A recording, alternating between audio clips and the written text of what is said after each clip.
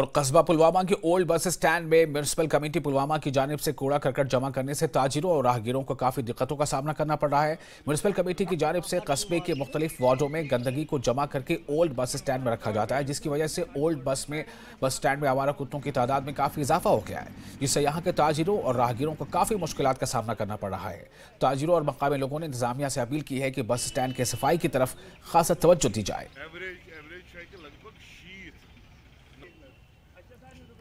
ये तो main hub है पुलवामा का जो मेन बस स्टैंड है, ये मेन हब है यहाँ का। लेकिन आप देख सकते हैं कि पूरा पुलवामा का जो कूड़ा करकट आ रहा है, वो इसी में हम ये यहाँ पे डाल रहे हैं। तो हम हुकाम से यही गुजारिश कर रहे हैं कि हम यहाँ पे हमारे यहाँ पे कारोबार है, हमारे यहाँ पे बिज़नेस है तो इससे मुतासर हो रहा है। या तो हमें यहाँ पे रिहेबिटेट कीजिए, यहाँ पे इसको शिफ्ट कीजिए बस स्टैंड से बाहर। हमारी यही गुजारिश मगर सफ़ाई अगर पान वो नज़र दियो पान कत अगर हेक ना पकित कह अगर गाड़ी थे बंद तेल पकित अगर पैदल वो कुछ पक, कौन कर सकता है? कम करान सोरे मुकुर तूत ज़्यादा अंदर आसान है तुम करो दरवाज बंद क्या नबर कम लस ज़्यादा दुहा ज़्यादा हून ज़्यादा बचे वो पान अंदरम गि ठीक जड़ नेरने अंदरम अगर किन पी एच खोलोस, जड़ कड़ोस the work is not working for that due to मुकुर ज़्यादा